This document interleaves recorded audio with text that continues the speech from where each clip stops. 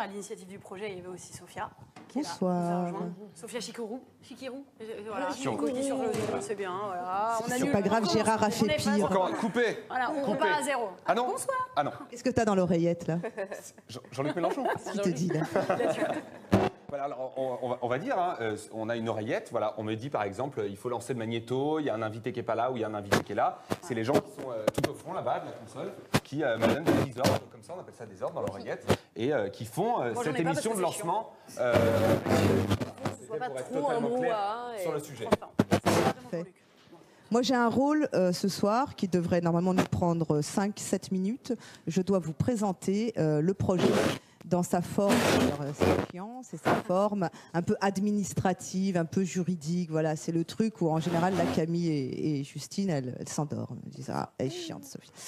On pourrait lancer une vidéo pour résumer tout ça, mais avant de lancer la vidéo, je vais quand même dire quelques mots et on va faire comme si si j'étais devant un conseil d'administration ou euh, une assemblée de sociétaires, puisque l'objectif c'est d'avoir, euh, de construire un média qui appartienne à tout le monde. Donc on va essayer de présenter avec des slides là, façon entreprise, euh, ce qu'on veut faire. Interrompt. Voilà. Ouais, exactement. Et on mettra ça en circulation sur les réseaux sociaux pour que tout le monde puisse le voir et le revoir. Alors, on avait un objectif, on a toujours cet objectif qui est de créer une coopérative. D'accord? Pourquoi une coopérative? C'est la slide suivante. C'est pas moi qui appuie sur le bouton, donc je transmets quand même l'information en régie. C'est la slide suivante. Pourquoi une coopérative? Parce que euh, ça permet d'avoir une propriété collective, c'est-à-dire que on a un multisociétariat. Le média appartient à des dizaines de milliers de personnes, que ce soit des personnes morales ou physiques. Euh, slide suivante. Alors. Le véritable intérêt de tout ça, c'est qu'une coopérative ne peut pas être vendue aucun euh, milliardaire ne pourra venir demain poser sur la table 50 milliards d'euros, parce que c'est ce qu'on vaudra demain, et nous dire je vous achète, maintenant vous êtes à moi et je vous mets à ma sauce. C'est un peu ce que Bolloré a fait ou des choses comme ça. Là, la coopérative, elle peut pas être vendue parce qu'elle appartient aux gens. Une coopérative, ce sont aussi des valeurs qu'on met au service de l'intérêt collectif. Nous, on les a posées, ces valeurs, dans un manifeste, et on a pris des engagements donc, qui correspondent tout à fait à l'esprit coopératif, et euh, beaucoup de gens savent déjà ce que c'est. Ensuite, une coopérative, ce sont aussi des principes de fonctionnement qui sont très importants. Regardez-les bien. Le principe, c'est qu'une personne égale une voix. Donc, en gros, tout le monde se vaut. C'est le principe d'égalité. C'est aussi un principe que nous, on va instaurer dans le média, qui sera une échelle de salaire de 1 à qu- à 5, pas à 15, de 1 à 5. Ce qui fait que si la personne qui gagne le moins euh, dans le- l'entreprise euh, euh, par exemple, touche 1500 euros, la personne qui gagne le plus ne touchera que 5 fois cette somme. Si la personne qui touche le plus veut s'augmenter, elle est obligée d'augmenter la personne qui touche le moins. Donc ça permet d'avoir de la redistribution à l'intérieur de l'entreprise. Et surtout, et ça c'est vraiment le plus important dans les coopératives, c'est l'investissement. C'est-à-dire qu'on investit les bénéfices, on réinvestit énormément d'argent, on ne le distribue pas à des actionnaires, c'est pas le but, c'est pas d'enrichir des gens. Le but, c'est vraiment de se développer, ce qui fait qu'on on peut imaginer que le média, ce sera une coopérative, donc un projet à long terme qu'on va sans cesse alimenter avec de l'argent qui restera à l'intérieur, qui tournera pour financer des programmes, embaucher des gens, euh, faire des choses à l'intérieur de, ce média. Et puis avec une forte valeur humaine, parce que euh, nous, on a décidé, c'est un principe qu'on pose, de placer non pas l'argent comme le but ultime de l'entreprise, mais la valeur humaine, l'humain, les gens d'abord, etc., etc. Mais c'est très important et c'est pour ça que euh, on veut atteindre cet objectif et pour cela, on doit passer par plusieurs étapes. Donc, on vous a dit que nous, on allait jouer la transparence. Donc, je vais vous dire pourquoi euh, euh, on va passer par plusieurs étapes. Ensuite, on veut faire la euh, on veut le co-construire ce média. C'est-à-dire qu'on on veut le faire avec vous. Voilà, on s'est fixé une date. En janvier 2018, on émet, on prend l'antenne. Mais donc, on a trois mois pour le construire avec vous, ce média. Et on va le faire régulièrement par des rendez-vous comme celui-ci, par d'autres types de rendez-vous. On va vous consulter les gens. On va venir chez vous aussi. Oui, on va s'inviter. Jouer, pourquoi pas Ah oui, à T'habites- Noël. T'habites où Toc toc. Bah, à Noël. 24 décembre, 22 heures. bah oui, bah voilà, a Par toute la exemple. famille, ça va plus vite, on interrogera tout le monde. C'est ça. Voilà. et on vérifiera que vous avez bien pris part aux médias. Et donc, euh, ce soir, on fait la première étape ensemble. Voilà, c'est ça l'essentiel pour tous les gens qui euh, nous regardent en ce moment. C'est que ce soir, on va commencer à construire, à co-construire ce média. On va pas démarrer tout de suite par une coopérative. Pour une raison très simple, c'est qu'on est dans un cadre juridique, un cadre légal, qui fait qu'on ne peut pas mettre en vente publiquement des parts sociales. C'est interdit euh, par la loi, sinon on tombe sous le coup de l'autorité des marchés financiers, etc., etc. Du coup, nous, on a décidé que pour notre première étape, avec vous, on va démarrer par une association de type loi 1901, une association qui s'appelle Le Média. Pour le moment, on a dû euh, déposer des statuts, euh, bien sûr. Et comme l'association est temporaire et provisoire, le président, c'est Monsieur Gérard Miller, parce qu'il n'a jamais commis du crime. c'est quelqu'un d'honnête. Euh, vous pouvez lui faire confiance. numéro 3, là.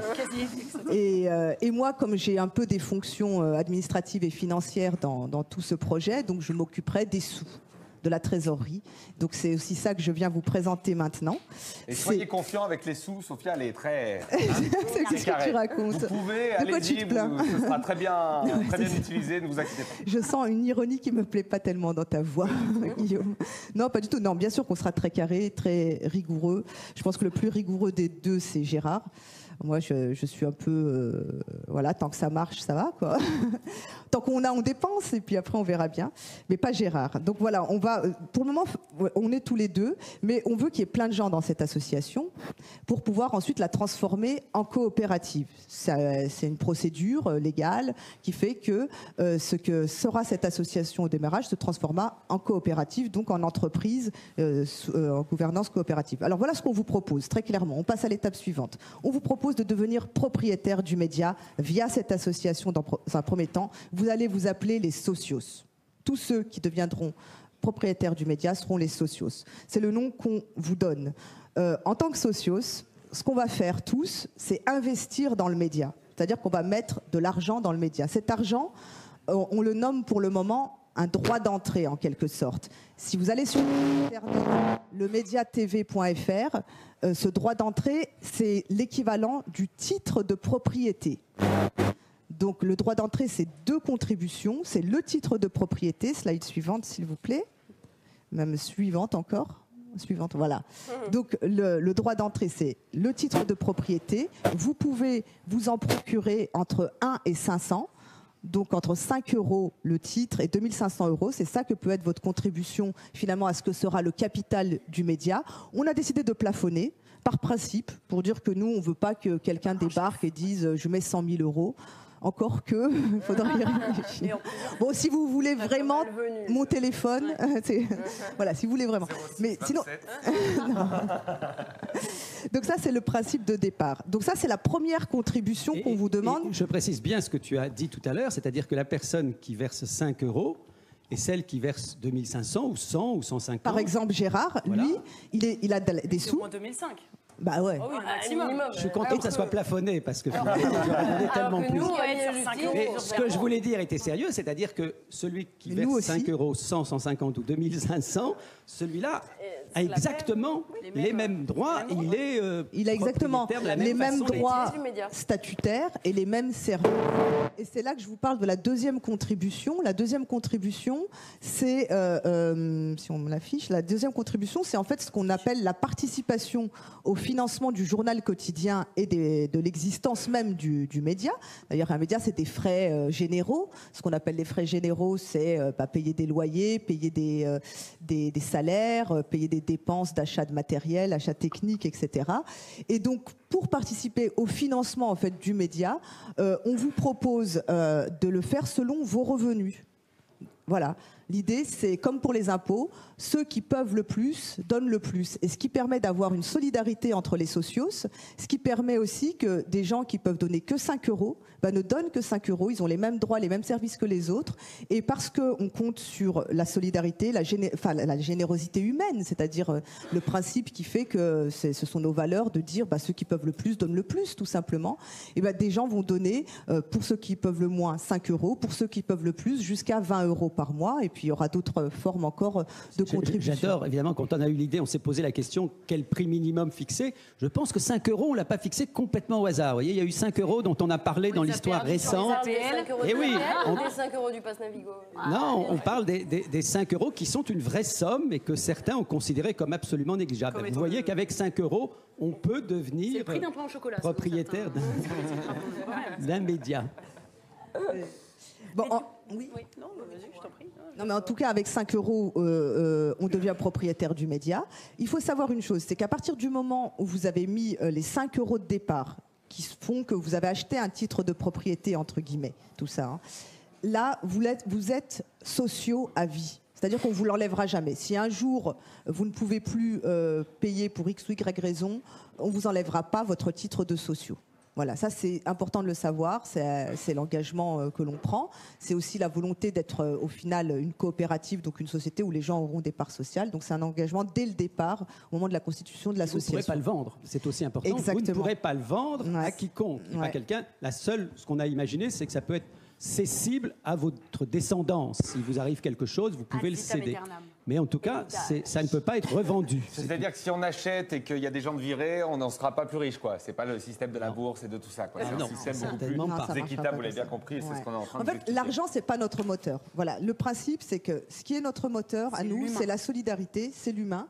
Et d'ailleurs, euh, ce n'est pas par l'argent qu'on acquiert des services, qu'on acquiert des droits, etc. C'est par l'implication des uns et des autres. Euh, plus vous vous impliquez, plus vous aurez dans le média une place un peu plus importante que ceux qui s'impliquent le moins. Mais c'est pas l'argent qui déterminera votre place dans le média, c'est pas l'argent qui déterminera vos services. Donc c'est pas, euh, par exemple, euh, certains, voilà, tu, mets telle cotisation, tu as le droit, tel abonnement, tu as le droit à tel service. Non, c'est pas ça qui vous fera gagner des services. Donc le principe, pour terminer, c'est que, ben voilà, elle allait vite. Dit donc première et deuxième contribution, ça fait de vous un socio à part entière. Et puis pour terminer, voilà, être, pour résumer, pardon, sociaux, c'est avoir des services et être propriétaire du média. Euh, d'avoir euh, un journaliste objectif. Alors moi, je pense que non. Euh, et c'est ce que j'ai écrit dans, sur le site de marianne.fr cette semaine, où j'ai publié une, une tribune qui s'appelait pour une subjectivité honnête des, des, journalistes. Ça fait à peu près une quinzaine de jours en ce moment que je vais dans les différents médias pour parler du média. Euh, et une des questions euh, qu'on me, pose à chaque fois, avec un air un peu euh, mi-étonné, mi-dégoûté, c'est Mais alors, vous allez être engagé? Et ben, je réponds que d'abord, c'est pas un gros mot. Euh, qu'une ligne éditoriale, c'est jamais qu'un engagement. sauf que chez nous, il sera assumé, il sera, il sera transparent et il sera, il sera dès le départ affiché. J'ajoute que ce n'est pas un débat franco-français. Euh, que c'est un débat qui existe beaucoup euh, dans le monde, euh, notamment anglo-saxon, où on voit de plus en plus de, tribunes, de journalistes qui revendiquent leur, leur objectivité, alors leur subjectivité. Alors il y a, des, on les voit pas s'afficher, mais il y avait, y a récemment un journaliste qui est transgenre et qui a dit que le journalisme objectif était mort et que c'était très bien Euh, il y en a d'autres qui disent que euh, aujourd'hui l'objectivité consiste maintenant à répéter euh, ce qui nous est déjà prémâché et que en fait d'objectivité c'est simplement du, communiqué de presse. Bref, pour toutes ces, pour toutes ces raisons-là, nous on assume notre, notre subjectivité. on pense que qu'on peut pas faire autrement. Euh, on pense que faire euh, comme si ça n'existait pas, euh, ça serait mentir. Et que pour être honnête avec un public, il faut commencer par être honnête avec soi-même. donc moi, je dis clairement, je suis subjective. Voilà. Et, donc, je, suis engagée en faveur de cette subjectivité. et, de ce, et pour ce média, pour ce média subjectif, une des autres questions qui m'a été posée euh, lorsqu'on a, euh, lorsque j'ai été interrogée euh, sur, ce, sur le lancement de ce média, c'est ah oui, mais alors vous allez être subjectif, vous allez être engagé, mais du coup vous n'allez pas être indépendant. Vous allez être la télévision de et l'enfant ou de qui que ce soit d'autre. et j'ai dit non. alors, on peut me croire sur ma bonne mine. Euh, parce que je suis hyper convaincante, euh, voilà, et que je peux faire, euh, je peux faire gober n'importe quoi, n'importe qui. Mais en fait, on va être obligé de me croire aussi d'un point de vue statutaire et d'un point de vue administratif. Pourquoi? Parce que on a, on a pris la décision de faire en sorte que le, le journal, la rédaction, ait un statut à part au sein du média. je vais rentrer un tout petit peu dans les détails.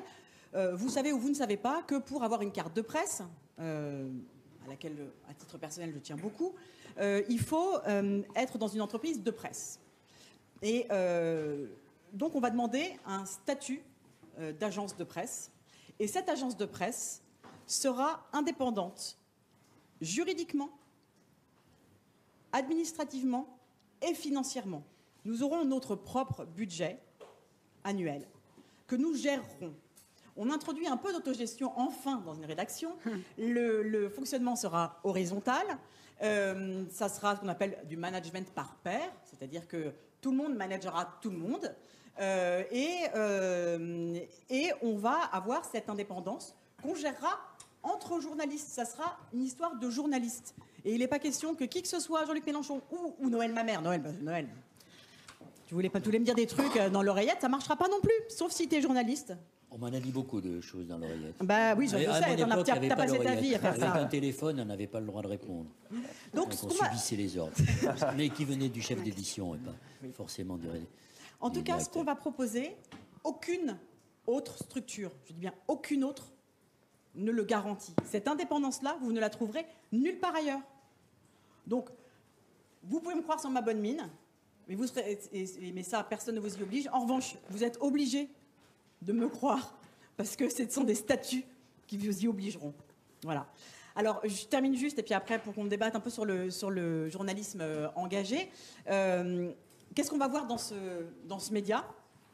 Et, euh, et, ben, on va voir, notez déjà la date, on va voir un journal de 20h, à 20h forcément, qui sera un journal audiovisuel, et qui sera, euh, qui sera le produit de la rédaction et qui, en plus de s'affranchir euh, de cette dictature de l'objectivité dont on a déjà dit ce qu'on pensait, s'affranchira aussi de la dictature de l'urgence. Gérard Miller en parlait tout à l'heure.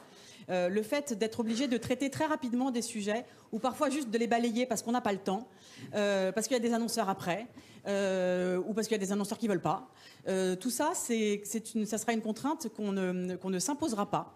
Et puis, euh, on prendra le temps aussi d'expliquer les choses, euh, même si on n'est pas dans l'actualité forcément brûlante. C'est-à-dire que si un lundi, il se passe quelque chose de très important et qu'on n'a pas le temps, ou en tout cas qu'on estime qu'on n'a pas le temps de le traiter correctement, eh ben on dira bah on vous en parlera mercredi ou jeudi. Parce que jeudi, on aura eu le temps de creuser. Parce que je dis, on aura, on aura eu le temps de rencontrer des gens qui peut-être nous donneront différents points de vue. Peut-être que ce qu'on nous donne là, c'est pas si simple. Et donc on veut essayer d'aller, euh, de voir un peu au-delà de ce qu'on voit immédiatement, au-delà, de l'information micro-ondes, euh, où euh, on nous sert déjà des choses qui sont, qui sont prêtes, à, prêtes à avaler. le JT, sera assez classique, en tout cas dans sa, dans sa forme, puisqu'il il balayera l'information euh, en général, euh, puisqu'on est un média généraliste. Et donc le, journal euh, quotidien rappellera les, actualités de la journée, toutes, politiques, économiques, sociales, la météo, les faits divers. on peut s'intéresser à tout et à tout ça et être engagé. Heureusement, ça n'empêche pas. Et puis après, on développera euh, un certain nombre des sujets qui, euh, nous, sembleront intéressants. Et on expliquera à chaque fois pourquoi aussi on décide de les choisir et pourquoi euh, on, les développe. Et dans la ligne qui a été fixée et qui a été claire dès le début de cette aventure, à savoir des valeurs humanistes, écologistes, féministes, etc. Évidemment. Évidemment, on a. Alors, quand l'actualité s'y prêtera, par exemple, on se déplacera. C'est pas ce qu'on prévoit de faire immédiatement compte tenu euh, des moyens, y compris humains, qu'on aura au départ, même si évidemment on vous invite à, devenir sociaux autant qu'il est possible de le faire. Euh, mais euh, on n'exclut pas de se déplacer dans des endroits où il se passe des choses importantes. On, prend l'engagement d'être solidaire des, luttes sociales, écologistes, féministes, antiracistes, euh, un peu partout dans le monde. Euh, et donc, on n'exclut pas d'aller se, euh, d'aller voir de près comment ça se passe ou de consacrer des éditions spéciales lorsqu'il le faudra. Dernière chose, reçoit énormément de CV, vous continuez à les envoyer parce qu'on essaiera de recevoir, de recevoir tout le monde, ou en tout cas de recontacter tout le monde. on est, moi, été sidérée par le nombre de CV qu'on reçoit. Euh, je trouve que c'est aussi, une des preuves que euh, tout va pas forcément si bien au royaume de l'indépendance du journalisme, euh, parce que les, gens ont très envie de venir travailler avec nous, ce dont on se réjouit. Et, donc, continuer. je vais monter la rédaction à partir du début du mois de novembre pour être opérationnel courant décembre. Voilà. L'autre jour, pour la petite anecdote, un, journaliste d'un grand média m'appelle et me dit Mais qui va vouloir travailler avec vous? Et je lui ai répondu très gentiment Ton collègue. Qui m'avait appelé pour me demander à qui il pouvait envoyer un CV pour travailler dans ce média. Moi, forcément, le, programme m'intéresse et même me ravit, puisque la réhabilitation du journalisme engagé, c'est vraiment, euh, je pense, même une nécessité, en fait, euh, compte tenu de l'état de, notre milieu, qui est littéralement en train de, crever euh, de cette idéologie de la neutralité, de l'objectivité. Euh, qui a une histoire d'ailleurs, hein, qui, qui, n'est pas tombée du ciel comme ça, parce que tous les grands journaux en, en réalité ont été fondés sur des combats politiques, hein, que ce soit Le Monde, que ce soit Combat de Camus, tous les journaux, ah, euh, l'humanité, racheter tout ça. Voilà. Et puis, depuis euh, la fondation de ces journaux après-guerre, toute la presse est en train de revenir, et le, le, processus est quasiment accompli désormais, dans la main du capital. Voilà. Euh, donc les journalistes, eux, se protègent euh, avec cette espèce de bouclier de la neutralité qui, en réalité, euh, est hypocrite, on le sait, parce que on imagine bien comment ça fonctionne et, quel genre d'intérêt, en réalité, euh, vous avez à défendre dans ces lieux-là, ne qu'à cause du chantage euh, à l'emploi, tout simplement, qui s'est installé dans notre métier. Donc je pense effectivement euh, qu'il est important de réfléchir à ça. de changer la donne, de, que les journalistes arrêtent enfin de se planquer. et je trouve vraiment essentiel qu'il existe des lieux comme ça qui vont en effet à visage découvert euh, défendre des idées qui en plus n'ont plus leur place dans les médias et a fortiori à la télévision. Euh, dans des domaines qui me sont particulièrement chers comme les idées, euh, les intellectuels, la culture, on a vraiment, c'est vraiment la misère à l'antenne. C'est-à-dire qu'il y a encore quelques années, même sous la présidence Sarkozy, on pouvait voir de grands intellectuels critiques chez Frédéric Tadei, par exemple, tous les jours à l'antenne, hein, et un, panorama intellectuel extrêmement riche et vaste. Et tout le robinet a été coupé. La, situation n'a jamais été euh, pire qu'en ce moment. Vraiment, il y a un assèchement euh, intellectuel et politique de notre pays et j'espère que le média euh, contribuera à changer la donne. Et je passe la parole à Kevin. Le bâton de parole.